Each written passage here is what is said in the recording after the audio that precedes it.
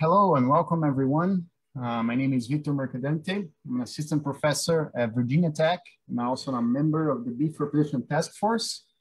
And uh, we're back with our webinar series on beef cattle reproduction. And today we're, we're happy to have here with us Dr. Joe Dalton, who is a professor and a extension specialist in University of Idaho. Uh, he's a current member of the Beef Reproduction Task Force. He's also a past board member of the DCRC, the Dairy uh, Cattle Reproductive Council. So we're really happy to have him here with us and we look forward uh, to his presentation. I will remind uh, two things to everyone before we, we start.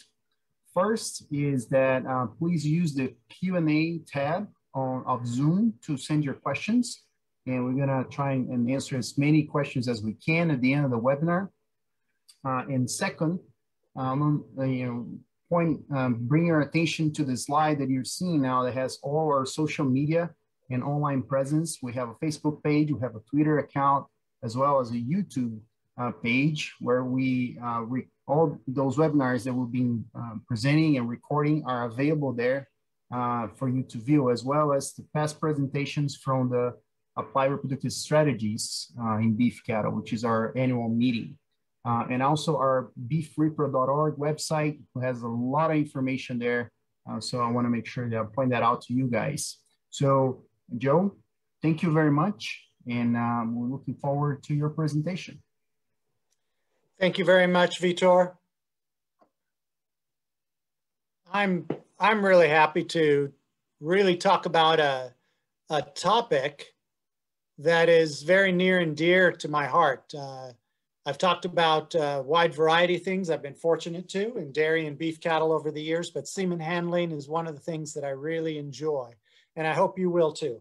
Thanks everyone for taking time out of their day and their evening or wherever you are uh, to uh, listen to this and hopefully uh, we give you something to chew on, something to think about. And like Vitor said, we'd be happy to answer some questions after this.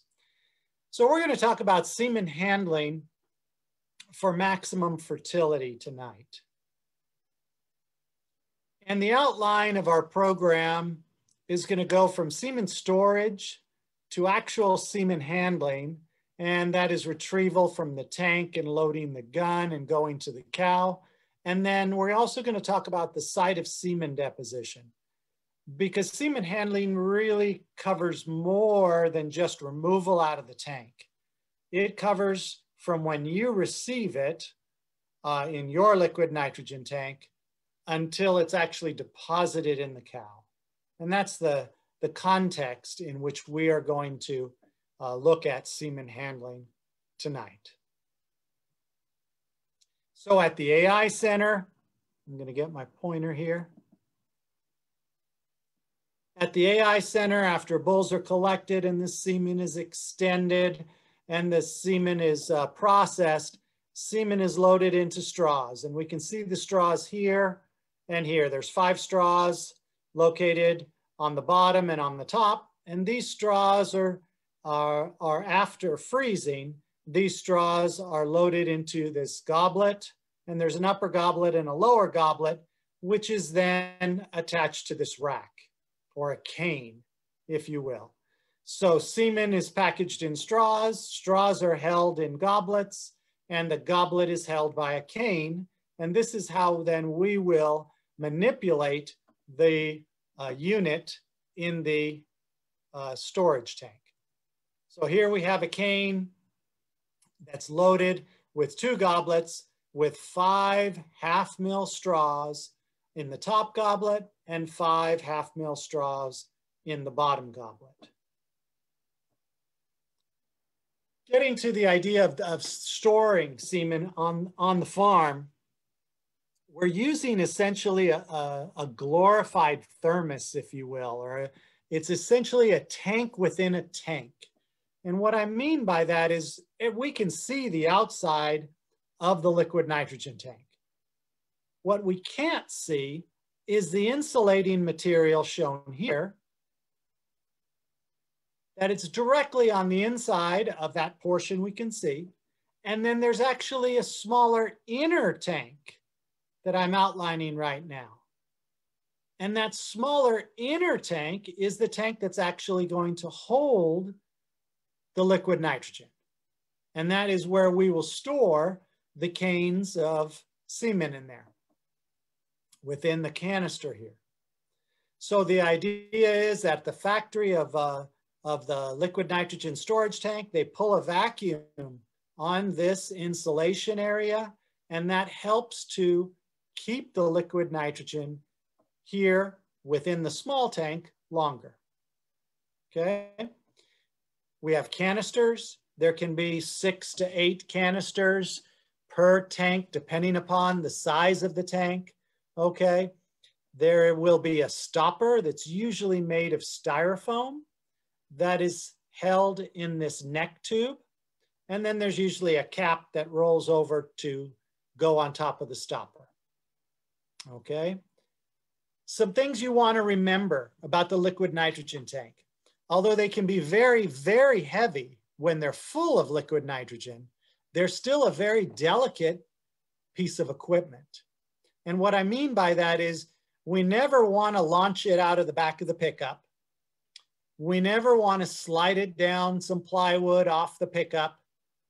We want to be really careful with it. And the idea here is, is because if we dent the outside, we can damage not only the vacuum, we can damage the outside, we can put a hole in it. We can also break the neck here. And by breaking the neck, we can have premature release of liquid nitrogen and the potential to unknowingly have the tank go dry. And if that happens, then we run into the issue of having a whole bunch of semen we can't use because uh, the semen is no longer frozen, it's actually thawed, but it wasn't handled properly. It's not gonna generate any pregnancies. So we wanna be careful handling the tank uh, from a standpoint of making sure that we have the best possible container for the longest period of time to guard the investment of what is stored inside the tank. And the last thing I'll say about the, the storage tank is we always want to make sure we know how much liquid nitrogen is in the tank. We can monitor it weekly very easily with the dipstick. We want to maintain in most tanks a minimum of six inches of liquid nitrogen. And we want to fill the tank at regular intervals. Okay. And you know, with, uh, with smartphones and things like this and being able to put things into electronic calendars, it becomes very easy for the herd manager or the owner to have in their calendar time to check the liquid nitrogen level, time to call uh, representative, and conversely, there are even reps that'll have it in their calendar to come by your place to fill up your tank. Okay, so managing the tank, we have to recognize that when we pull the stopper out, that we can have liquid nitrogen in the tank down here, but we have a gradient of temperatures within the neck. And the temperatures naturally get warmer as we get closer to the outside environment. And that just makes sense.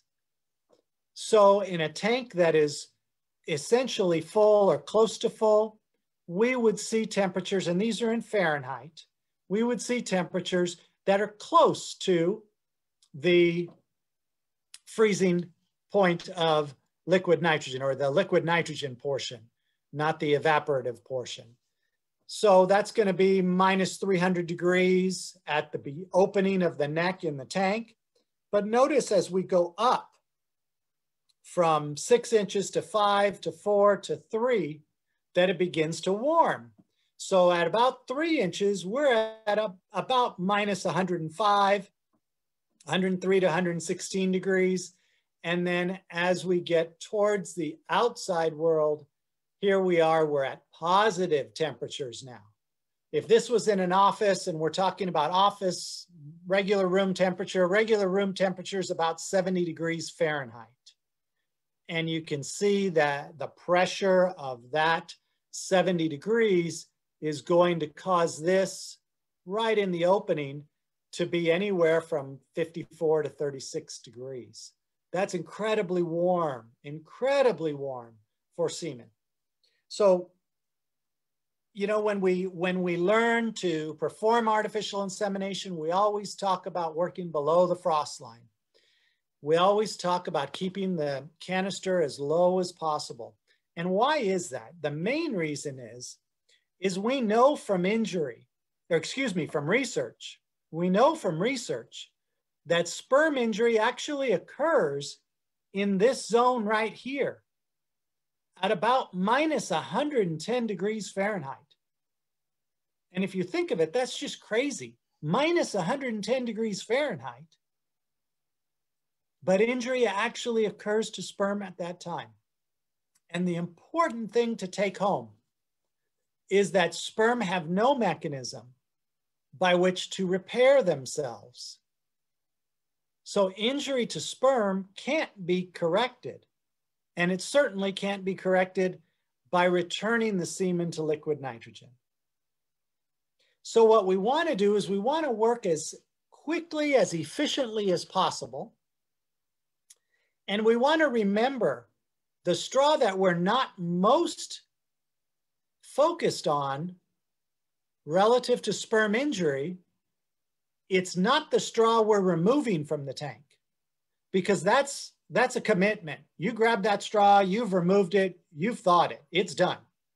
It's going to generate a pregnancy or it's not. It's the other four straws that are within the goblet that potentially could have been injured the first time you raised that cane and then you put it down. And then you raise the cane to pull a second straw out, but there's still three straws remaining that have been insulted a second time, and so on and so on. The injury becomes additive to sperm. So the idea here is we need to focus and pay attention to what we're doing, not only for the straw that we're removing. And again, that's a commitment. That, that one's going into the cow. But it's the ones that we leave in the tank, we also have to manage appropriately.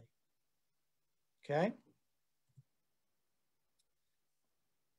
I mentioned always work below the frost line. That's a great idea. That's the best benchmark that we have. You can see we're looking down the neck of a tank. This is one of the tanks that I have.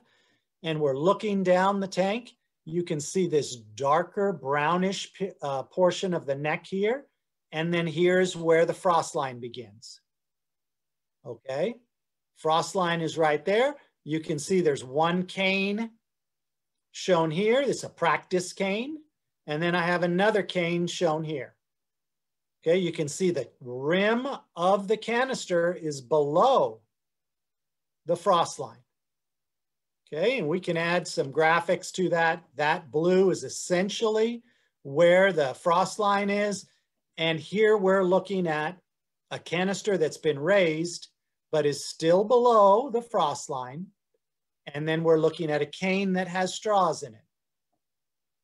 Okay, how do we manage this? The way we manage this best is, is to use tweezers to keep the canister and the cane as low as possible. And with the tweezers and the angle of the tweezers to exploit that and remove a straw from the top goblet. And while we put that straw into the thaw bath, we're simultaneously with our opposite hand putting the canister back in the liquid nitrogen okay?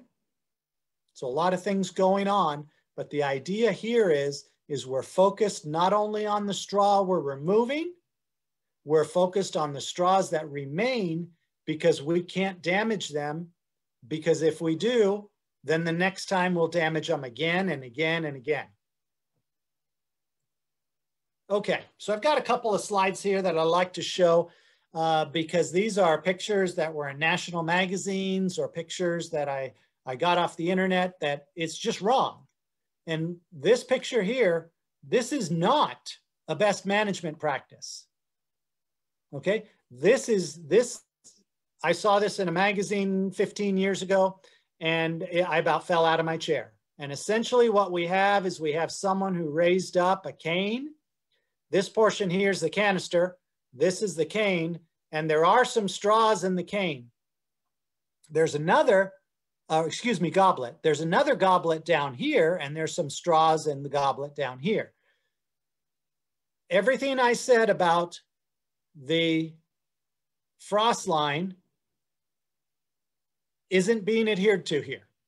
We've got to work as low as possible. You never want to exteriorize a cane to say, gee, look at this, or, or can I get this, etc. You have to do all those types of mental gymnastics outside the tank where you have an inventory outside the tank. If this person wanted a picture of semen handling, probably better to do it from like a drone view from the top and then try and have a telephoto into the neck. That way you don't break any rules. Okay, so this is not a best management practice. Okay, this is another article within the last couple years that this also is not a best management practice. Look at, look at the rim of the neck. This is the outside world. These are the tops of the canisters. Tops of the canisters. These are the tops of the canes. Okay, Right in there, I can see there's some green in there. It's bad practice, okay? Bad practice. The whole top goblet on all of these canes is above the frost line. And if we learned anything from the first slide or the slide that showed the diagram of the neck, we're talking close to room temperature. Okay, so bad, bad practice. Don't want to do that. Okay, so we go out into the field and we have a, a, liquid nitrogen tank and we have a stopper and we've got the stopper in there and we're not really doing anything wrong with the actual removal. But anytime you happen to see frost shown here, frost shown here, this is a problem. This means the stopper is not holding tight and it's allowing excess liquid nitrogen to get, out into the environment. And then the one that I really love is if you're worried about the stopper falling down into the tank, by all means, get a screw and put it into the stopper so that this plunger or this stopper doesn't fall all the way in the tank. Okay, this was actually from someone who's a very good technician, an excellent technician. It was just one of those things that, hey, I can live with it. But the reality is a stopper costs you less than 10 bucks, less than 10 bucks, and you have thousands of dollars worth of inventory in any uh, semen storage tank. So again, not a best management practice. Let's pay attention to, to what we really need to do. And then the last one I have here you know, this is a broken neck and uh, there was still semen stored in it. Of course, they were losing a whole bunch of liquid nitrogen really quick. Depending upon where the source of liquid nitrogen is and how much it costs, you know, you might be able to rationalize, well, I can fill it up every other day or something like this. Long term, this is a mess. You don't want to do this, okay? Because you cannot control exactly that evaporation rate how fast will it go? And all of these tanks, any tank that you purchase has a rating on it. And it's rated to use liquid nitrogen so many centimeters or inches per day. So I have one tank that'll last me about eight weeks. I have another tank that'll last about 20 weeks. Okay. So that's the type of information in an undamaged tank that is valuable. That's incredibly valuable. This is a wild card. You don't have any idea what's going to happen tomorrow. So bad news, please don't do that.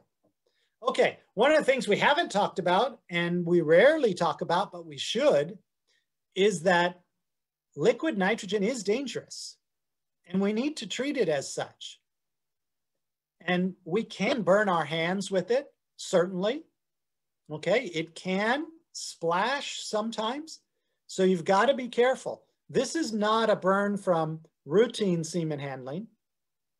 This is actually a, a, a burn from going from a mother tank into a producer's tank and the nozzle got away. And at the time, the tech wasn't wearing gloves, okay? He healed up fine, no permanent damage, but you gotta be careful with what you're doing. Use your head. You wanna make sure if gloves are the thing you like, use gloves. And you can use everything from milker's gloves, nitrile gloves, to you know almost uh, athletic style gloves for the semen handling portion, and that's fine. I think that those are those are good techniques to use. Okay, so we're going to finish up. That finishes up the semen storage portion, and we're going to go into the more semen handling portion, and then we're going to get into uh, site of semen deposition. One thing that I always get a lot of questions on is this, this idea that of what's the difference between a 0.5 ml straw and a 0.25 ml straw. And I'm showing two different ones here. The green one here is a 0.5 ml and the yellow one is 0.25. And as many of you know, uh, 0.5 is very common uh, by many studs. 0.25, on the other hand, is marketed by other studs. Uh, sex semen tends to be processed in 0.25 uh, ml straws. But if we hold semen type constant, and let's look at conventional semen. So we're not talking about sex semen. We're talking about conventional semen. Jeff Stevenson from Kansas State in 2009 looked at a comparison of fertility data between cows that were inseminated with a 0.5 ml straw or a 0.25 ml straw. Okay, there were almost 800,000 inseminations right here, 780,000 inseminations. Jeff and his colleagues did mention there were large variation, there was large variation among the studies. But when all of these inseminations were analyzed in a common model, common statistical model. The 0.25 ml straw may provide an actual difference in pregnancy outcome of less than 1%. Okay, what does that mean? It means that they're essentially the same in a very large data set, essentially the same in fertility. And this goes against perhaps some marketing, but this is probably one of the largest studies I've ever seen where there's almost 800,000 inseminations. There are advantages on a very basic front to 0.5 as compared to 0.25. 0.5 is a little more forgiving for technicians that struggle with semen handling because you have larger amount of surface area. Okay. 0.25 on the other hand, they're a little more sensitive for the opposite reason. Okay. So that could be an issue. For some people like me, as you get older, it's harder to see. Okay. I can read this straw very, very well whether it's on the slide or it's in my hand, there are some 0.25 straws that I struggle with, okay? You could say, yeah, you just need to stop, stop thawing semen and let someone with good eyes do it. But the idea here is there's some advantages and disadvantages that are practical. But if we're gonna boil it down to, is there one that's magically more fertile? No, there's not. Absolutely not. Is there one that might provide a little bit of a bump? Yes, and that's the results shown here. Okay, so we want to AI cows. We want to be ready for AI season. We want to be ready for a particular day, let's say, if we're timed AIing a whole bunch of cows. What do we need? Obviously, we got to have semen in the storage tank, okay? And we've got to have tweezers, a thaw box or multiple thaw boxes. We need to have an accurate thermometer, scissors, an AI gun or multiple AI guns, depending upon how many technicians or how many family members are breeding, disposable gloves, paper towels, and lubricant. And you can see all that stuff essentially here. This is like in a, in a truck toolbox that's been modified. Okay, we've got the liquid nitrogen storage tank here. We've got scissors. We've got tweezers, small bottles of lube. We've got um, small hand gloves here, uh, AI guns, shoulder sleeves, sheaths to go over the guns. Uh, this is another lube dispenser. And then over here, we've got the thaw baths, okay? What I always tell people as I'm teaching AI, this is, if, if there are any of you out there who like to have everything in its place and you like to work from left to right or right to left, this is the time that you can be in your glory. And I say that not joking with all honesty, because I like to have things every time in the same place. Then I don't have to search for scissors. Then I don't have to say, well, what do you mean there aren't any sheaths? Because if the sheaths aren't where they are, I don't have any. And I should have noticed that earlier. So think about the setup before you get out there. It has to make sense to you. Okay. And obviously, the technician who put this together, this is what makes this technician be able to excel at their job and to generate pregnancies. Okay, so one of the kind of sound bites that I want you to take away from this webinar is that every successful AI program begins with proper semen handling. Okay, you've got the cows out there, you've got the heifers out there, and you've synchronized them or you've been checking heat. And that obviously is a huge portion of generating pregnancies. But on the other hand, we have to be able to access appropriately the semen straws, thaw them, load the gun, breed the cow to generate that pregnancy. And I want you to remember four things. There's time, temperature, hygiene, and skill. Okay? Time, temperature, hygiene, and skill. And we're going to talk more about those. But before I move on from this page.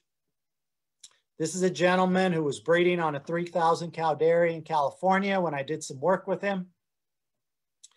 And he had a pull behind trailer behind his pickup truck, like a cargo trailer. And obviously he can stand up in it. But what I want you to take away from this is this made sense to him. Okay, he's got the tank right here.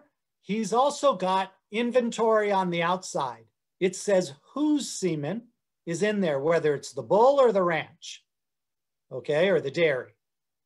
Okay, he's got his thaw baths here. He's got plenty of paper towels. There's no worrying about where the paper, paper towels are. Okay, scissors, tweezers, everything here. And look at the size of this clock. There's no wondering, has it been 45 seconds? Should I remove the straw? What time of day is it? How long have I been doing this? Et cetera, et cetera. Okay. I didn't ask him anything. I showed up that day.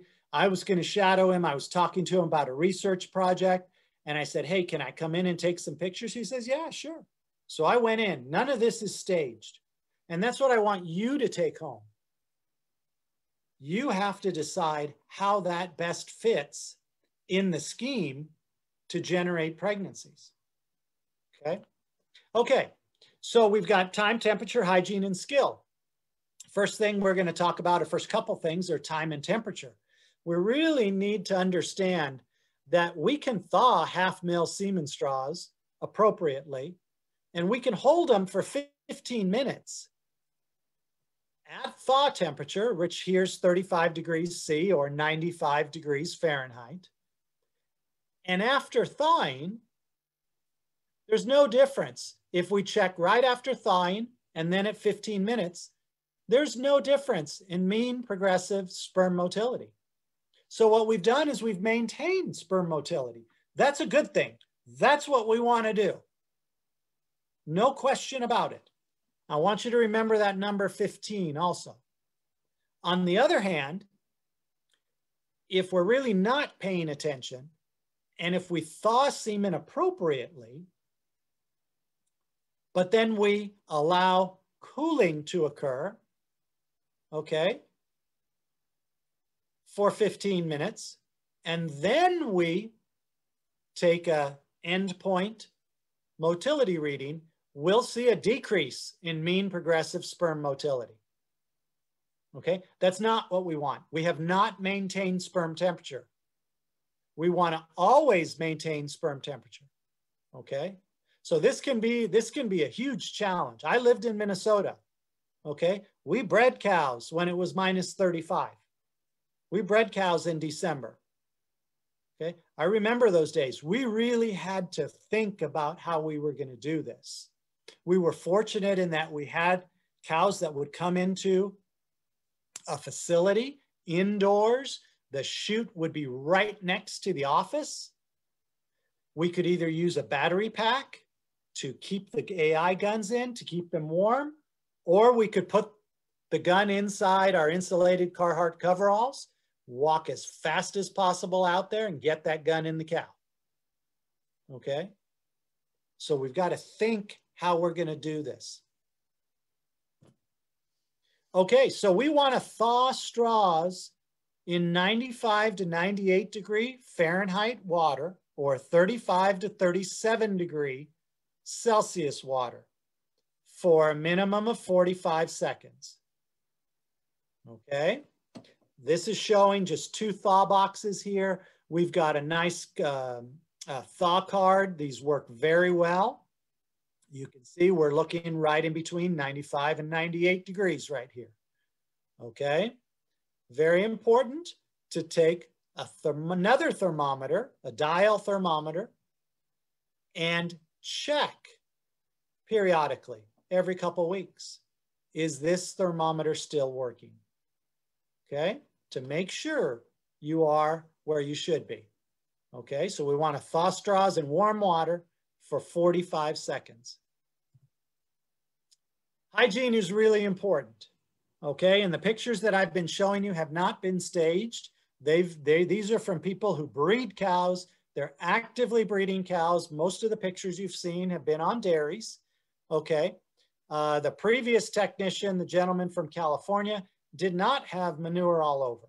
Okay, okay, this gentleman here has already been breeding cows at this facility and does not. Hygiene is very important. You want to make sure that you're focused you know what you're doing. Notice there's no, there's no earbuds here, okay? He's not listening to something on the radio. He's focused on what's going on, okay? He gets arm in the cow, not worried about manure in the, in the rectum. Okay, notice very short in the cow, uh, up to the wrist approximately. Gonna apply a little downward pressure with the arm that's in the cow. That causes the vulva to wink just a little bit. He's going to wipe the vulva with the paper towel.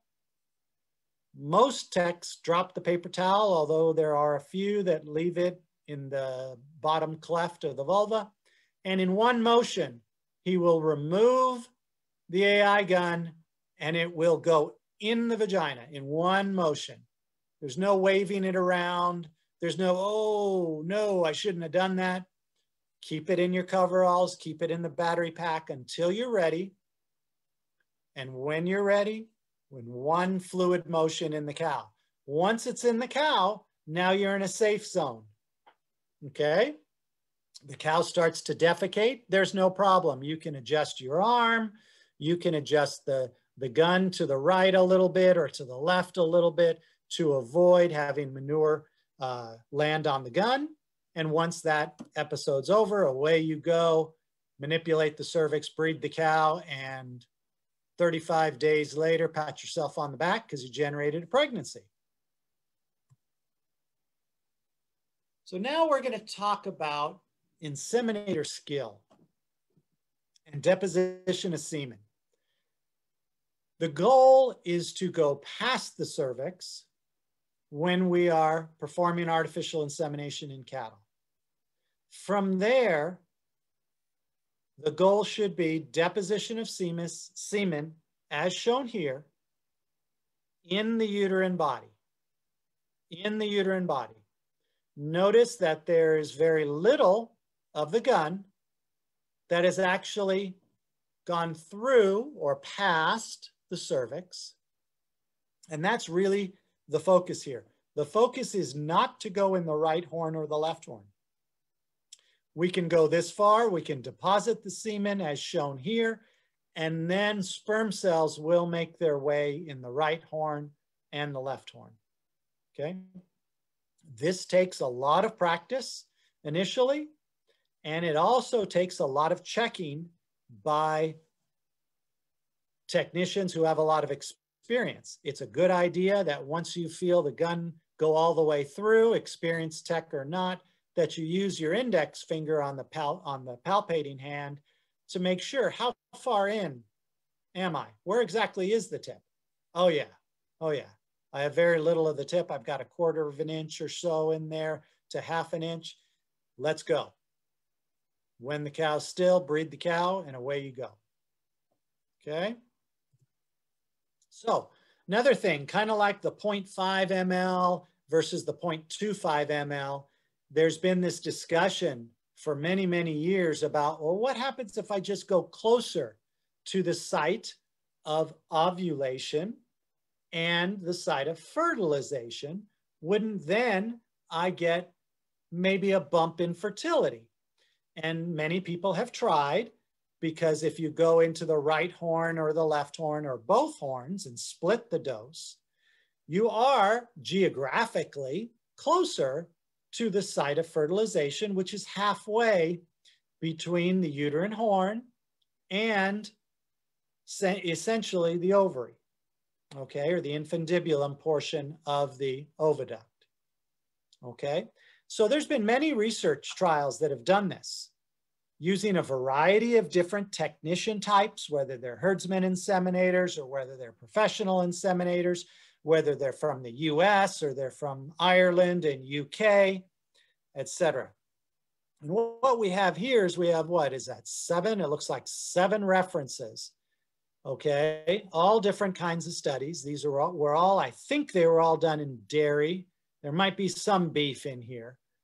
The fertility response, if we were to compare cows that received insemination in the uterine body with cows that received insemination like cows, similar cows, in the uterine horns, essentially, it's a wash.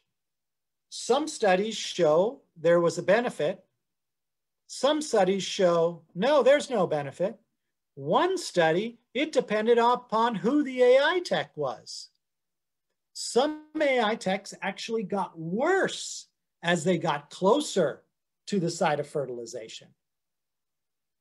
Okay, so there is no consensus, and I've really struggled with this. I was taught uterine body because then you can have potentially equal distribution of semen into the right and the left horn.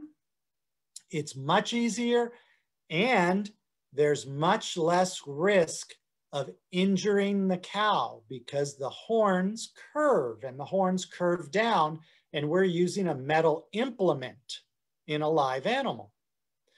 So that's the way I teach AI. There is no consensus here. And also, I think we've really been asking kind of the wrong question. It's not whether it's should we go in the uterine horns or uterine body. It's really why is it this way? Why do we see this? I think it has to do with what's the effect if we actually deposit semen in the cervix? That's more important. That's more pressing. Because once you're past the cervix, you've passed the largest barrier that the animal has to sperm transport, the largest barrier. So getting past the cervix is the goal. But what would happen if we actually bred cows in the cervix? So there's a very elegant study way back in the 1960s where animals were palpated and those animals that had similar lengths, if you will, of reproductive tract relative to location of the cervix. Um, specialized equipment was used to inseminate these animals. So they actually truncated or cut the AI guns so the technicians couldn't pass the cervix. And they told them, you're going to use a short gun, put it in the cervix. Okay, and then they compared that with uterine body depositions. And what they found was there was a 10% decrease in fertility when semen's deposited in the cervix as compared to when it's deposited in the uterine body. This is the bigger problem. This is the bigger issue. It's not going deeper. It's if we're, we don't get past the cervix, we take a bigger hit. Okay. Here's the scary thing. There have been retraining workshops of technicians. And depending upon the data you look at and the age or the years of service, newer technicians who are coming back that don't have a lot of reps, cervical deposition of semen occurs in about 20% of attempted uterine body depositions. So this is a more pressing issue. This is really what I want you to think about when you're out there and you're breeding cows is where am I? Do I know I'm past the cervix? Yes, I've checked. I'm past the cervix. Awesome. Lift your finger, deposit, and out you go. Okay. I do not recommend wasting time going forward into the uterine horns because there is no consensus in the literature that says it's a good practice. This is consensus here that's telling you it's a bad practice to deposit semen in the cervix.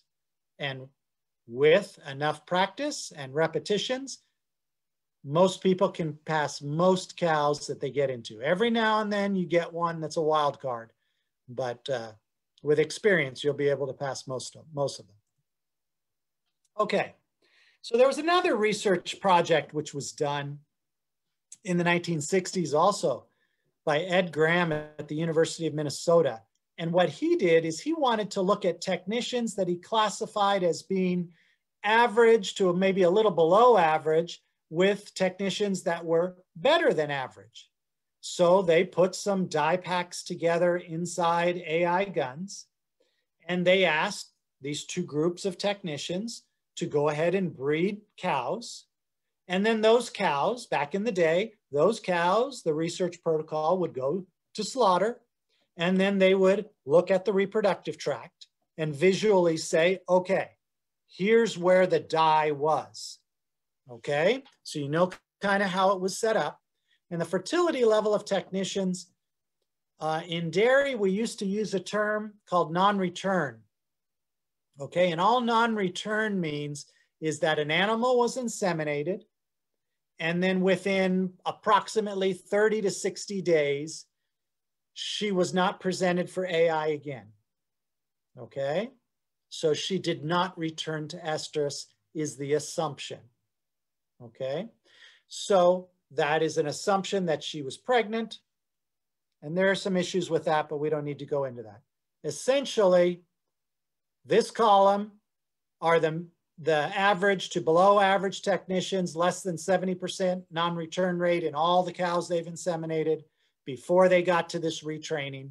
And then we had those that were above average to good technicians, which were greater than 78% on a fertility basis as non-return. And then the numbers shown here is percentage placement, okay? And you can see right off the bat, if you just look to the left and look to the right, there's stark differences here. Those that have lower fertility levels actually struggled as a group to put a high percentage of the dye actually in the uterine body. Only 34% compared to 86%. Some went into the right horn, so they were through the cervix, through the uterine body into the right horn. And that was done also by this technician group. But look as we go down this column, somewhere in the left horn, there are some that were in the cervix, and this would be the cervix closest to the uterine body. Excuse me. Somewhere in the cervix closest to the vagina, that portion, the posterior. Somewhere in the vagina. Some of the dye was put in the vagina. Okay? That's scary. We really need to know where the tip of the gun is. Where the tip of the gun is, and all other things being equal, the cow doesn't jump up and down, and we deposit appropriately, that's where the dye is going to go. That's where the semen's going to go. Okay. But notice the, those technicians with higher fertility across many cows, they were in the uterine body or the right horn and not in any of these other sp spots. So it, it kind of makes logical sense. These ones can make it there, but they struggle a little bit. Therefore, their fertility is a little bit lower. These guys and women have it nailed down. Okay, for the most part, the train's running down the track and things are going well. Okay, so another really kind of big topic that always comes up when I'm teaching AI or when I'm talking with producers, whether it's beef or dairy, doesn't matter, is how many straws should I be able to thaw at one time? You know, doc, I've got 100, 100 cows uh, synchronized, or I've got a 100 heifers synchronized, and things have gone really well. The repro crew or the family or whoever, we got everything locked in. But you know, loading one gun at a time is just going to kill us. We're not going to be able to do it. What I always say is if you want to generate pregnancies, you can't break any rules. So you got to think how am I going to manage my way out of this? Okay. And we're going to talk more about that, but I'm going to answer this question first. We did a study in dairy cows uh, 16, 17 years ago on a variety of farms where we asked both professional technicians and herdsmen inseminators to thaw four straws of semen simultaneously load four guns, one right after another, and go out, carry those four guns with you, go out and breed four cows. We ask them to use a stopwatch or their cell phone or to have a buddy or somebody time them also from when the first straw hit the thaw bath until the last cow was inseminated. Okay, so you have an idea of how we're how things are going here. We have in this graph here, sequential insemination number. All that means is number one is the first cow that was inseminated. Number two is the second, three is the third, fourth is four is the fourth, okay? Very good. On this axis, we have conception rate. This is by palpation by a veterinarian who normally does this for these herds, usually done on dairies somewhere between 35 and 42 days. Okay? So what did we find out? We actually found out that if we look at the orange bars shown here, there was no effect on fertility whether the professional inseminators bred the first cow, the second cow, third cow, or fourth cow in sequence. Notice the fertility is all around that 38 to to 48 approximately. It's kind of in that range for dairy at this time was pretty common. Interestingly enough, herdsmen inseminators actually had lower fertility as a group, even though they worked on large dairies and they had a fair amount of repetitions. But there still was no difference in fertility between those animals that were inseminated with the first gun or those animals that were inseminated with the fourth gun. Okay? There was a difference in average fertility between professionals and herdsmen. Okay, but that's a story for another day. So, I am not telling you to thaw four straws and go on your merry way. Absolutely not, because there's a component here we haven't talked about yet. Okay, there's a very important component here. I mentioned that we asked them to time themselves. Okay, we asked them to keep elapsed times. So what ended up happening is we have on this table, type of inseminator, professional AI technician shown here, and we have herdsman inseminator shown here. We have the elapsed time to the completion of the first insemination and the fourth insemination. These numbers are actually completion times. Okay, and yes, that means professional technicians in this study were able to thaw four straws, dry, load, cut, put sheaths on, and get to the first cow within four minutes. Get to the fourth cow within eight minutes. Herdsman inseminators were very close also, less than six minutes to complete the task for the first cow and less than 11 minutes to complete the task for the fourth cow. Okay. Now, Jen, now granted, there are facilities differences between dairy and beef.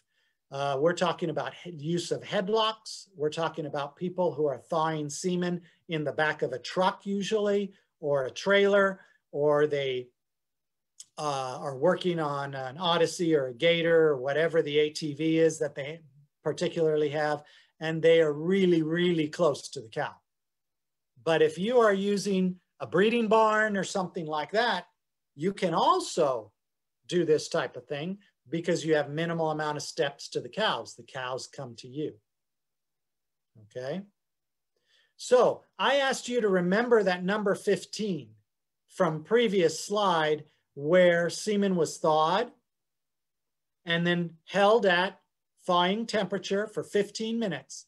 And they had done a motility at thaw right, right as soon as it was thawed and done a motility 15 minutes later and motility had been maintained. So that gives us our outside boundary. We know from research that we can maintain fertility based on motility. That's what was measured by, by maintaining temperature for 15 minutes.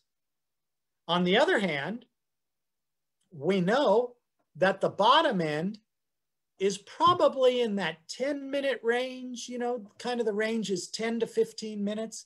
We really probably shouldn't use more straws than we can breed cows within 10 to 15 minutes. Okay, so what do I mean by that? We're gonna get to that at the very next slide. But for those of you that wanna see more data, we're talking thousands of inseminations here. This is summarized by Mel DeJarnette from Select Sires. Okay, this is also dairy animals. They were not asked to thaw four straws sequentially. This is from a larger study that had five, six, seven, eight straws uh, thawed sequentially. But the problem is the number of straws was much, much lower. And then it, because it becomes unbalanced and it becomes kind of a mess to interpret okay? Looking at these four straws, fertility in dairy cattle with thousands of inseminations is very similar, okay? So likely these occurred within that 10 to 15 minutes time period. So we're going back to the original question. How many straws should I thaw at one time? I got 100 cows. Doc, you're not telling me the answer. I got 100 cows I got to breed, and I've got other things to do. Okay. I'm not going to tell you the answer you want. You can't break all the rules. You won't generate pregnancies. Thaw no more than can be used in 10 to 15 minutes. No more than can be used in 10 to 15 minutes. For me, that might be two. I'm not real fast loading guns there might be someone else that is just lightning quick loading guns. Okay? It's important to know your comfort zone. It's important to say, you know what, I can't carry six guns. I can't, you know, you can't just load guns and leave them on the table and I'll come back and get them because it takes me two and a half minutes each cow or something, or three minutes each cow. Okay, know your comfort zone, be honest. When you are thawing multiple straws, do not allow the straws to touch when they're thawing in the thaw bath. Well, what do I mean by that? I've, I took three straws out of the top goblet of the bull Bubba. Why wouldn't I just drop them in the, in the thaw bath and thaw them? My recommendation is, even though they're from the same sire and they were in the same goblet, they were frozen. What you want to do is take those three, let's say it's three, and right above the thaw bath, right when they go in, you want to twist them so that they actually separate and they circle around the thaw bath. And the idea there is you don't want straws to touch, get apart, and then touch again because we know that causes damage to sperm cells. Once it goes in the thaw bath, you want them to be separate. Some people actually use the thermometer as a divider and they'll put one straw on one side, one straw on another if they're comfortable and they know they can get cows pregnant doing that. Okay. Use multiple thaw baths. Okay. A thaw bath costs a whole lot less than open cows. A whole lot less than open cows. Remember time, temperature, hygiene, and skill. Okay, we haven't answered the question about I got 100 cows to breed. I got 100 heifers that I have synced up. I use the, the BRTF protocol sheet, might have gotten it out of the back of an AI catalog or on the website. And these animals are ready. I'm going to breed them on Thursday. Okay. Well, before Thursday, how am I going to do this? You've got to think about it. You've got to think about just like you purchased all the semen and all the semen's in the tank, and essentially you've mated the cows. You know which cow's going to be bred to which which sire to generate the desired offspring. You got to think about who's going to thaw the semen. Okay, this is a great spot to work in tandem with other technicians, to work with other family members. Hey, you're going to breed the first 10 cows. I'm going to sit here and just load, load guns. And as we get going, I'm going to make sure that I haven't loaded too many guns and they're just sitting out here not being protected. And as you get to know each other from one breeding season to another, you can do that boom, boom, boom, lickety split, no problem because it's like your right hand is breeding the cow. Someone else is doing it, but you become very in tune with that. But you've got to have the right person that'll be able to thaw and do that for you. And then you can switch places, someone else, you do it for someone else. That also allows for those of you that don't have a lot of experience breeding a lot of cows on any one day, that reduces inseminator fatigue by doing 10 cows at a time or 15 cows at a time and then rotating. Okay. Again, just because you have a lot of cows to breed doesn't mean you can break any rules. You can't. And if you do, you're going to be unhappy with the results because you won't generate as many pregnancies as you should have and as really that, that you need for the business. Okay, one slide on sex semen because sex semen is a different product. It's not the same as conventional semen.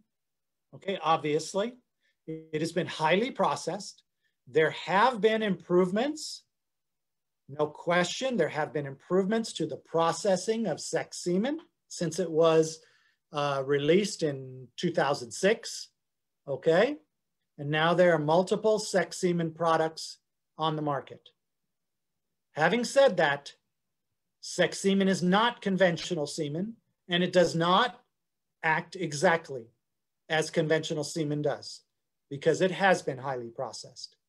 So the idea here is to recognize that And the idea is to shorten that 10 to 15 minute interval and bring it back to a five to eight minute interval is what I'm really most comfortable with. Okay, why do I say that? This is some research that was done with a, a common product that was available at the time. And essentially, straws of semen were thawed and then they were maintained at, at uh, different levels. So this green line is it was thawed and then it was maintained at that level. Okay, it's 98.6 is where they thawed it, which is fine. Uh, it's 95 to 98 degrees, okay? Just a little out on the outside. And you can see there's very little decline in motility here. There's very little, okay? It's essentially maintained.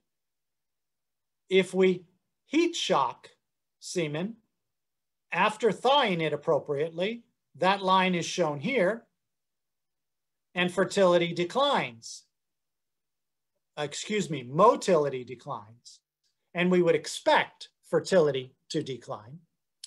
And then on this one, the red line, which is shown here, it's thawed appropriately, and then it's cold shock is applied, and you have a more distinct decrease of motility.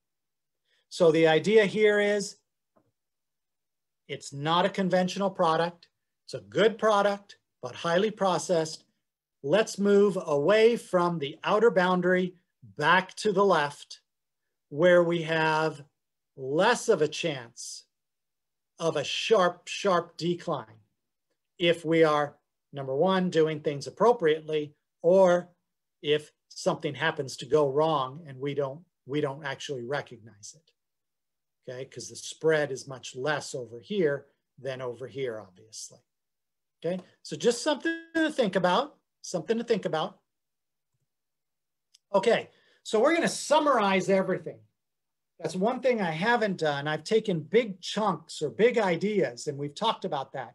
But we're gonna summarize the whole process now because that's really where everyone needs to to kind of understand how everything we talked about fits, okay?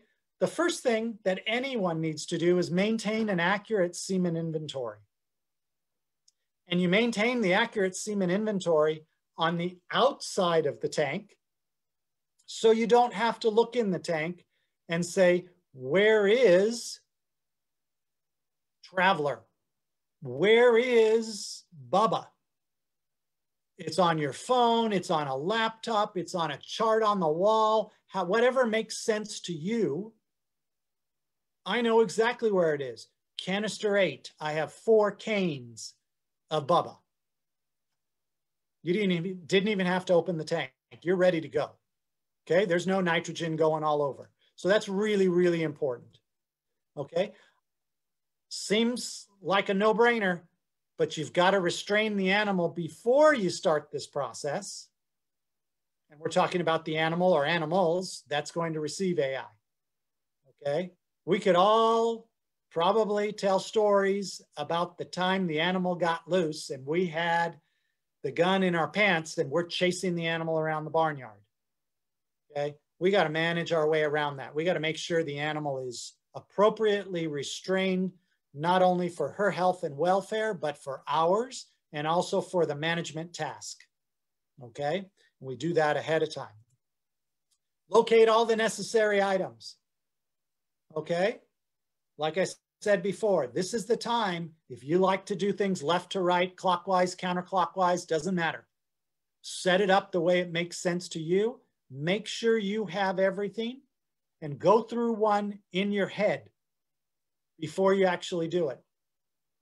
Even when I teach AI, I go through in my head and I tell people, right now I'm visualizing, I'm taking a straw out.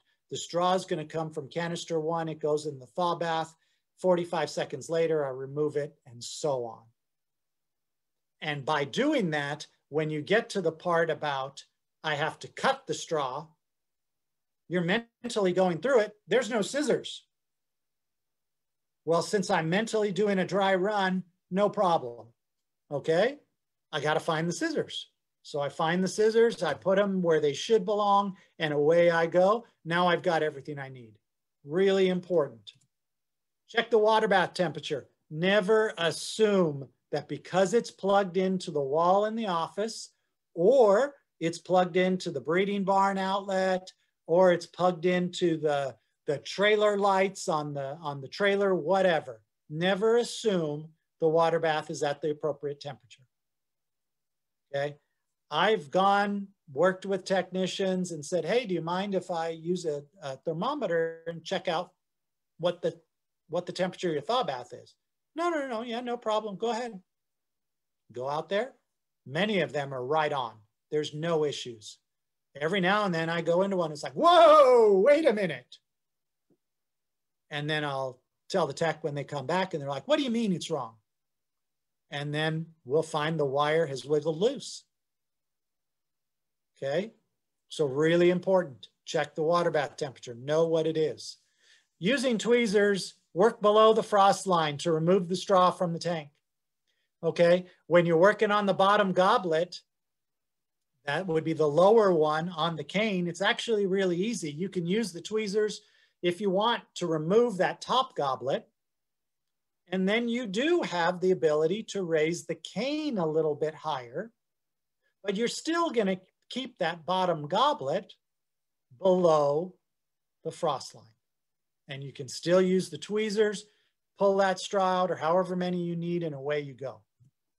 Okay, thaw semen in warm water, 95 to 98 degrees Fahrenheit, 35 to 37 degrees Celsius for 45 seconds. Okay, a story I like to tell is I worked in uh, the Philippines doing an AI school many years ago. And there were technicians who would tell stories about not having access to warm water.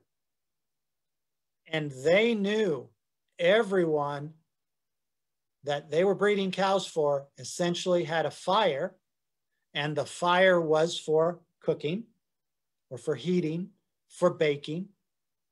So they could bring water with them they could have a thaw bath with them. They could heat up the water, get it, mix it at the appropriate temperature, put it in the thaw bath, double check it. No electricity. Thaw the semen appropriately. Inseminate the cow. Incredibly valuable because this one cow is the only cow that these poor families owned. Yet there's no electricity. Okay? Doesn't matter. Figure it out. We can all figure that out. Okay? You remove the straw from the thaw bath and you want to dry it thoroughly with a paper towel. Okay? We don't want to have water come in contact with sperm cells. Okay? It leads to damage and death. So we don't want that to happen. So dry that straw off very well and you're good.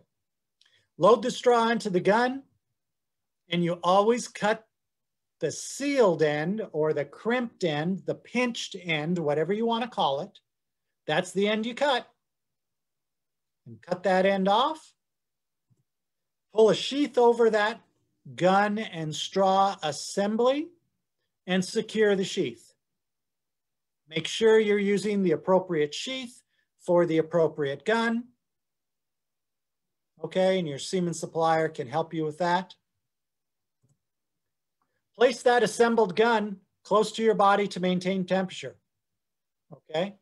Year round, year round, get used to that.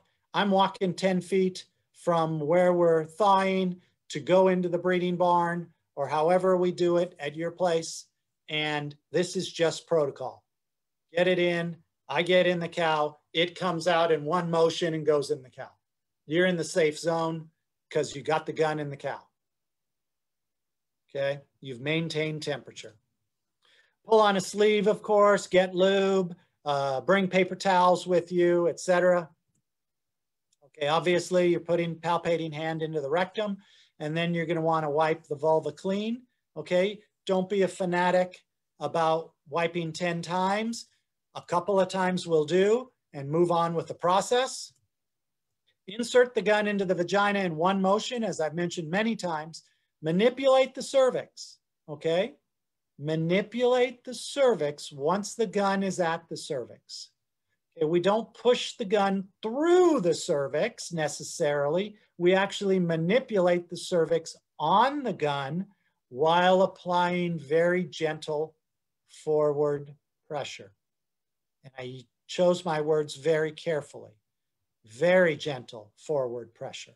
Again, we have a metal implement in a live animal, and what we want to do is generate pregnancies. And the way to do that is to be as calm as possible and to take it easy, recognize where we are, and adjust if we need to. Adjust.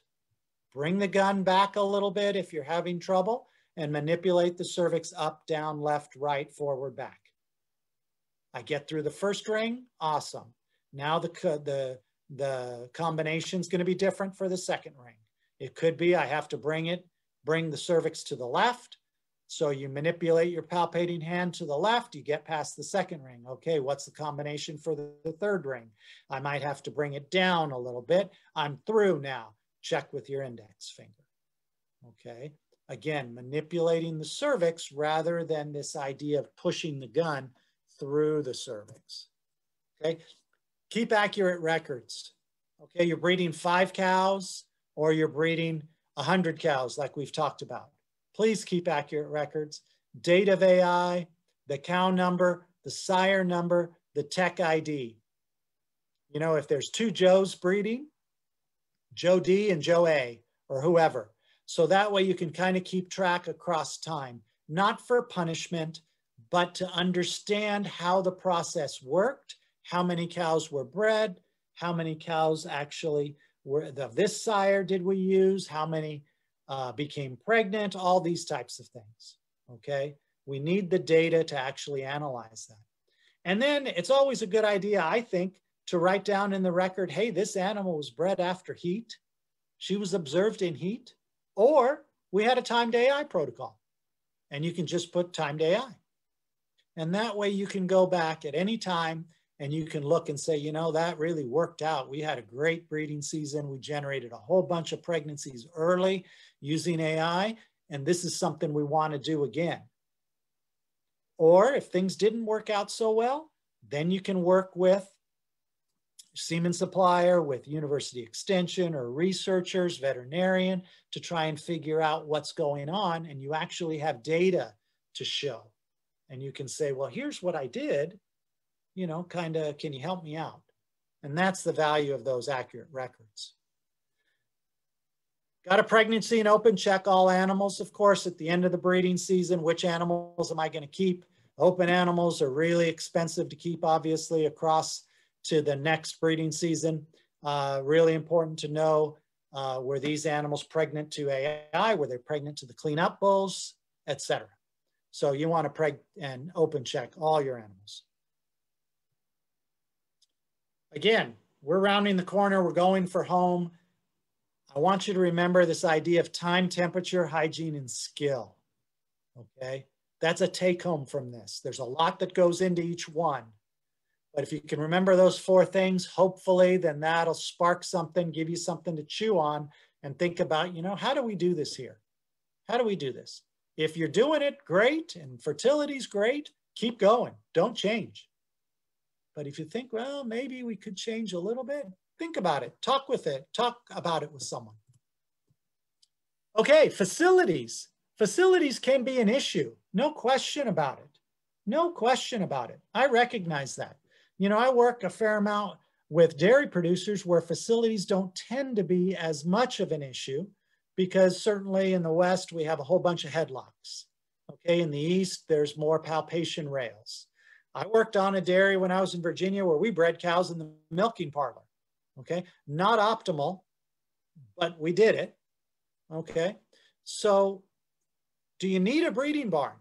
Do you need access to a portable breeding barn, but you can't afford one? You can't get one? Okay, ask your local semen supplier. Ask University Extension. I was on the internet earlier today. There's units all over the US that are available for rent. I personally know techs in the area that have their own breeding barns that they'd be happy to come out, AI your cows or work with you to synchronize AI and also use their breeding barn and their panels or their gates. Okay, so that helps out there. Okay, what are some of the rents? I saw today anywhere from 50 to $150 a day. Okay, uh, so it can be very little when you talk about what the value of those calves, AI sired calves are to your business and how many you're actually going to generate. Okay, so you kind of have to do that math. But in reality, I'd argue there's a lot of value in, in paying the hundred bucks if it averages a hundred bucks for a breeding barn to rent it. That's all I have. Okay. I thank you very much for, for listening. I'm happy to answer any questions. I'm going to turn it back over to Vitor because I'm not aware of the time and all that kind of stuff. And then, like I said, I'll answer questions if I can. That was great, Joe. Um, we already received several um, comments here saying how, how good of a refresher it was. You know, we tend to just overlook a lot of the semen handling, right? We try to focus on the technique, actually getting the cow bred. So this is really good. Um, there are a couple questions here that are um, very similar. So I um, want you to comment on throwing semen inside the cow or in the pocket, uh, the shirt pocket. Okay, very good. Excellent, excellent question. So we're going to talk about um, pocket thawing first, and then I'll talk about semen hand, or excuse me, thawing in the cow. Okay. Pocket thawing does work. I want to be clear about that. But, and there's a big but here, you have to listen to this. Pocket thawing only works in semen that is processed for pocket thawing. Okay, what do I mean by that? If I buy semen from stud A and in all of their materials, online, uh, printed materials, it says semen is appropriate for pocket thawing, then I'm good to go. Okay, I have to follow their pocket thawing rules, but I'm good to go. On the other hand, if I go to AI stud B and I'm looking at the catalog in paper or I'm looking online or I'm talking with the tech and they say, we want you to use warm water thaw, 95 to 98 degrees. End of discussion. The semen is processed for warm water thaw. And it has to do with how the thawing actually occurs. Okay? Pocket thawing, it occurs in a different manner, if you will, than warm water thaw because of the change in temperature. Meaning, we're going from frozen at minus 300 degrees, let's say, to 98 degrees Fahrenheit in a thaw bath. Whereas in a pocket thaw situation, the thaw would likely occur going from minus 300 into your pocket which may not be as warm as 98 degrees initially. So thaw rate is different, okay? Again, thawing in the pocket does work. However, only for semen processed for pocket thawing. All other semen can be, can be thawed using warm water. Now, is the reverse true? Can you use warm water for semen that is recommended for pocket thaw? Yes, you can. But it's easiest to use what the manufacturer recommends. Okay, we've answered Perfect. that. The next one is, what about you put it in the cow? Okay, because the cow's 102 degrees, you know, it's gonna thaw. Okay, you don't get uniform thawing. And what you get is you get a whole bunch of damaged sperm and a whole bunch of dead sperm and really low or no fertility. Okay. because the, uh, the whole idea with the straw and how the straw was designed describes optimal survivability of sperm. And that's why the straw looks like it does. As opposed to those of you that are at least my age or older, remember the little glass ampules.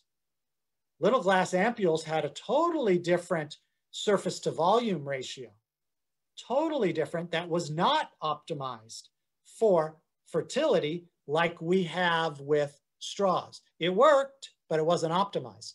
But the surface to volume ratio of straws is not optimal for thawing in the cow because you don't get a uniform thaw and you will get ice crystals that will damage sperm as they are thawing. And then you got a mess on your hands and you don't have a pregnant cow. Okay. Perfect. Um, uh, the first question that came up actually during the, the webinar is that is there any difference in temperature maintenance of the semen that's inside the goblet? And sometimes that they, they get liquid nitrogen inside of them. Mm-hmm. Is there any difference in temperature of those that have the, you know, capture liquid nitrogen inside or not? Okay. Yes, there is a temperature difference. Ideally, we like to have liquid nitrogen in the goblets, top and bottom, ideally. And that, if we look at the way the tanks are constructed and where the canisters hang and liquid nitrogen levels, et cetera, that's the ideal situation, okay? So yes, there is a temperature difference. However, as the liquid nitrogen level goes down in the tank, okay, there still is an appropriate temperature zone for those upper goblets, okay? Now, the issue then becomes, which is something totally different, is how often we open the tank and we raise and drop the cane. That wreaks havoc on liquid nitrogen level and the amount of safety, let's say, we have. But in general, we would like to have as much liquid nitrogen in the tank and in both goblets because it is better for uh, the sperm cells. Yes. Awesome. Um, two questions about uh, your recommendation uh, of hygiene of the thaw baths. You know, so how often do you change the water and clean those uh, the thaw baths as well as the gun warmers? You know, those um, electronic gun warmers. Excellent. Thaw baths, you know, those need to be done regularly. It's going to depend on how many, you know, how many cows you're breeding across how many days, weeks, or months. Um, you know, when again, when I was working on small dairies, we used to use a little tiny thermos that you would put coffee in or soup in, and you just put water in it, and then you throw the water out when you're done breeding the however many cows. So it's not a big deal. But one that's always plugged into the wall, I'd say you have to, yeah, you've got to clean them at least weekly. Okay, it's not a big deal. You dump them out. You kind of look around, see anything growing in there, nothing growing in there you can leave it actually without water for a while till the next day and then load water in it also. That you could certainly do that. Now the battery packs. Okay, battery packs are a different story. You wanna make sure that those are cleaned after every use. And by use, I mean every day, okay? Because what we have is we have guns that are going down into the battery pack and the battery pack is 98 degrees roughly but we have organic material, the extender portion of the semen, uh, of the of the of the extended semen. Some might you might get a droplet in there, and you might get another droplet. Okay, not enough to worry about, but you have constant temperature, which then bacteria love, and then bacteria will grow. So you want to clean them out daily, number one, or some people put an AI glove in them, and then you put the guns in the AI glove, which is inside the battery pack. And at the end of the day, you pull the AI glove out and throw it out. And then you don't have any problem with the battery pack. It's not dirty. Um, there's um, interesting question from uh, Saulo, who I know was one of your students. So um, what is the best way to load the semen straw? You put the semen straw inside the gun, then the sheath, or you put the straw in the sheath and then load the sheath into the gun? Okay, okay, very good. So I was gonna say I'm not gonna answer any questions from Saulo, but that wouldn't so I will go ahead. No, um, yes, uh, thank you, Saulo, for the question, because there are two, two kind of groups. To me, it does not matter. And I don't think there's many people that it matters to how you do it. What matters is ask yourself, am I breaking any rules? So when I have the gun and I have kept the gun warm while I'm thawing the semen, okay? The gun is warm, it's in my coveralls and it's unassembled. I dry the straw off, it's all dry. I put the straw in a warm gun, okay? And then I cut and I put the sheath on, I put it back in my coveralls and I'm ready to go. If you wanna do it the other way, what you would have to do is you'd have to have the gun warm, and the sheath warm. And then you remove the straw, dry it off, cut it off, flip it over and shoot it down the sheath. And that goes down the sheath and it's protected by your coveralls. Then you take the gun, which is warm, and you mate it with the sheath, and away you go. By doing it in either way, you've broken no rules if you hold the sheath kind of out here and you want to attach the, the straw to the gun, now you're getting to the, the, the straw to the sheath. Now you're getting into a little more of a gray area. So that would be my answer. You can do it both ways. Which way is best? The best way is the way you generate the most pregnancies. Um, a, a lot of questions about um, using the plastic sheets, the protecting sheets on top of the plastic sheets already. Uh, there's some, you know, soft plastic ones, or some hard plastic ones. Um, is it worth using? Did that improve fertility uh, or not? Can you comment on that? Another very, very good question. There are some research studies that show some benefits to fertility. But unfortunately, the benefits to fertility are not universal across all types of cows.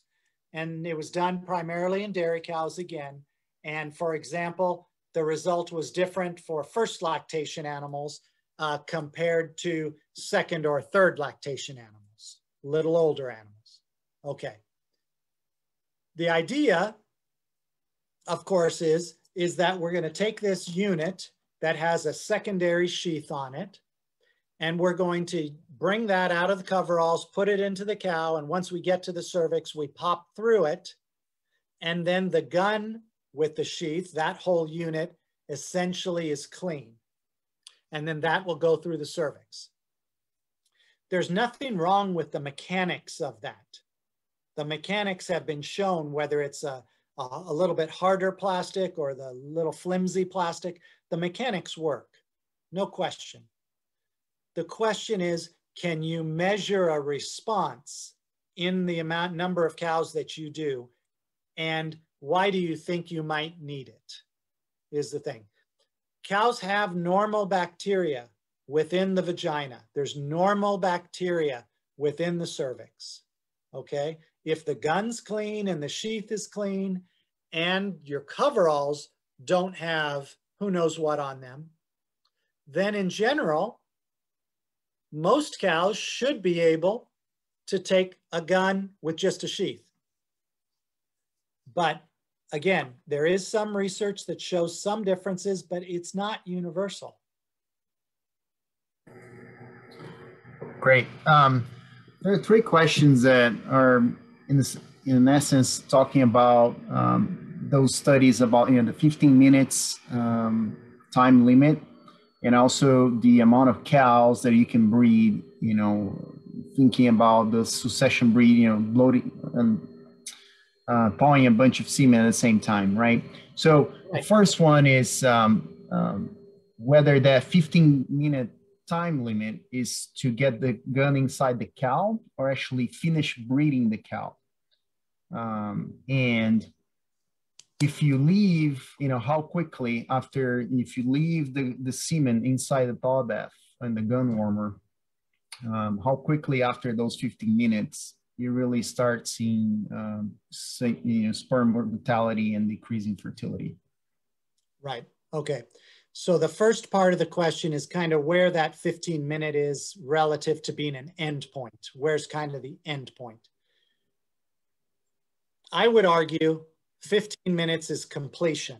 So 15 minutes is deposition in your last cow. That's really the easiest way to adhere strict to the rule is I'm only going to breed as many, or I'm only going to thaw as many guns or straws and load as many guns as I can complete in 15 minutes. Complete. So that's the way I look at it. Now, some people could argue, well, but you're in the cow, that last one, you know, the temperature's at the, at the appropriate point and on and on and on. But still, then that starts bringing stuff out to 20 minutes, 25 minutes, et cetera. And we want to get the semen out of the straw and in the cow. And we have research that I showed up to 15 minutes. We don't have research maintenance that I've seen recently that's, you know, 35 minutes or 45 minutes in like a breeding situation. So it's easier for me to segment it and say 15 minutes in the cow. Okay then um, got to remind me about the second part, Vitor. Um, how quickly after those 15 minutes inside the thaw bath is semen oh. really dying, sperm really dying, and fertility decreasing? Okay, okay. You know, I don't know, and that's a good question. From 15 to 30 minutes, let's say, or from 15 to 45 minutes. I don't know how it drops off the cliff there. Okay, I'd have to go back and look. There's certainly some historical data that I could look at um, as far as maintenance of motility uh, in a laboratory situation across time.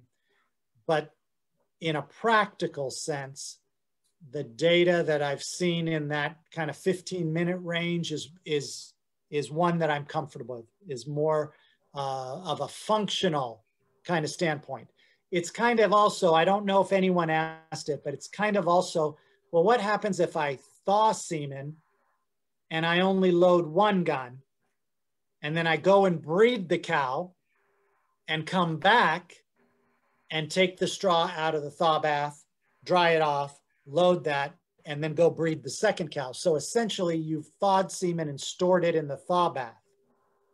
Okay. I would not recommend that either.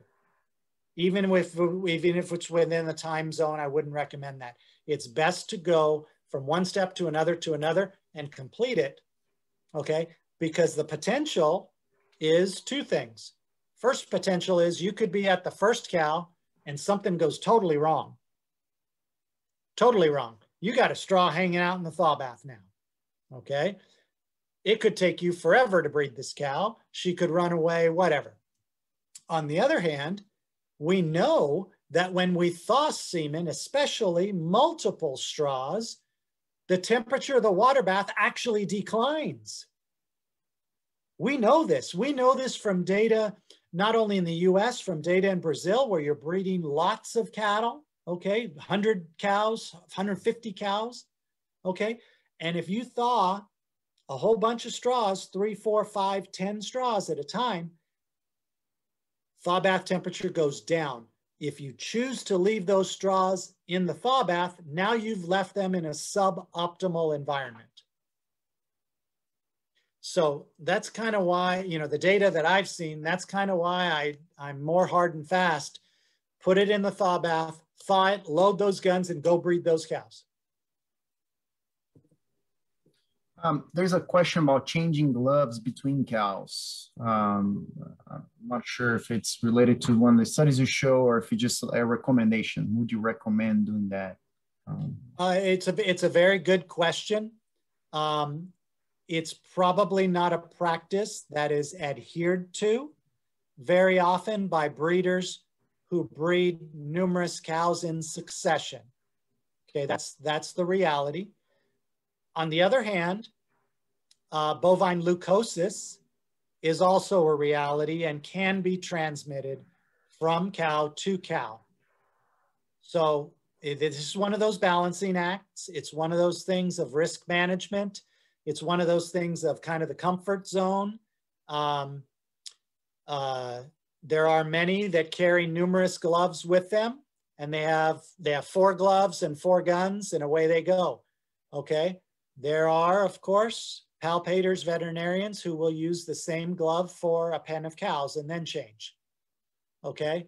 So you need to know the risks um, and know the, the health level of, of the herd you're working in. Um, I'm not giving you a hard and fast answer because there's different practices out there.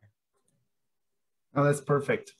Um, the last question we have here, uh, Joe, it's almost like a recommendation. So it's somebody that's a beginner uh, on AI and is looking to buy some equipment. So if you could comment on things to buy uh, and um, you know, things that are going to be durable, economical, and also you know you know it works. So you could give a couple recommendations. Okay, excellent, excellent. Even yes. I guess you could um, talk about brands, but you know, leave that up to you. Yeah, no, no, that's it's a great question because I had to buy equipment at one time when I came here for this job, and how did I think about it and all those types of things. That's excellent. Okay, you can talk to semen reps. Okay, you can talk to the local local semen reps from whichever stud that is in your in your area or who works with your neighbors or your cousins or whoever. That's a great resource, and they will have a variety of products that are available, whether they're guns or sheaths, um, whether they're AI gloves, uh, access to lube. Um, they many of the AI studs also have marketing agreements with makers of the liquid nitrogen tanks. So you can essentially kind of do a one-stop shop and say, I, I want to AI my cows this season. And I'm going to need A, B, C, D, and E. You know, what, what do you have? Okay, so that's the way I would do it. Um, you can look on the internet also. Uh, there are uh, sales, uh, internet, whether they're ranches that resell. There are some very, very large ranches in Nebraska and uh, uh, Texas that will resell brand new tanks. They'll sell AI equipment. They do custom AI, all those types of things. You can go to something like eNASCO, so NASCO, the agricultural supplier, uh, you can enasco.com, things like that.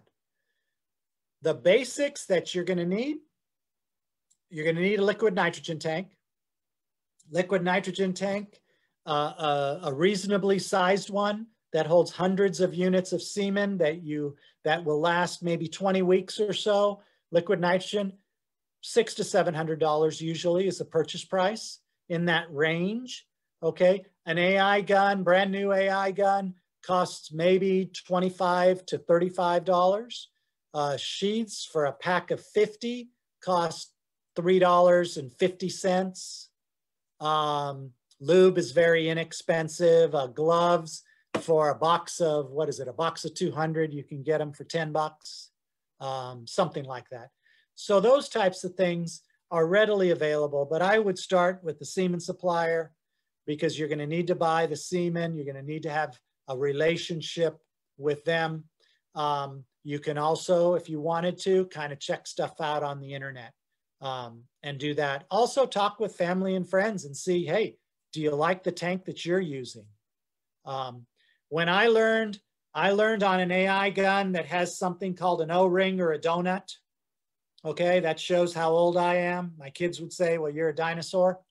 On the other hand, now all the guns don't use O-rings. Now they use something called a spiral, okay, or a wedge. And those are so easy to use. Those are so nice. So you want to make sure that you listen to kind of the recommendations. And those really work well. They're newer and they work really, really well. So that's kind of how I would go. Yeah. Um, you know, most most semen companies they will have a kit ready to go, right? They'll sell you the whole kit that has a top box, the AI guns, exactly. and you know the sheaths and everything else. So exactly. Um, and if this is if this is something that is going to be done kind of in a remote, remote meaning there's not a building and there's not electricity or there's minimal electricity. You know, you want to make sure that that thaw bath can work off your truck or some sort of uh, battery pack or something so that when you're set up by the corral, which is actually away from the farm or the office, et cetera, you're ready to go. And uh, there are many people, you know, back, we used to call them cigarette lighters, but they're the accessory uh, implement in your car or truck. You just buy just like it's plugging in a, a cell phone charger. You can plug your AI uh, thaw unit in and away you go. You thaw in the in your truck. So yeah. Exactly. Joe, I think that wraps wraps it up. Um, thank you very much again. Great talk. Uh, appreciate you spending the time with us. Uh, I want to remind everyone that this was recorded and it will be posted on our YouTube channel uh, by tomorrow. So please make sure to go there and subscribe so you can keep up with all our webinars and also follow us on social media and we'll see you next month. Joe? And my email is on this last slide. So anyone is welcome to shoot me an email if you have questions. Yes, and um, good reminder that in our website, beefrepro.org, we have our Ask the Expert um, function there. So you can send us questions and uh, we'll, we'll make sure to answer them. So thank you very much. Have a good night and we'll see you next month.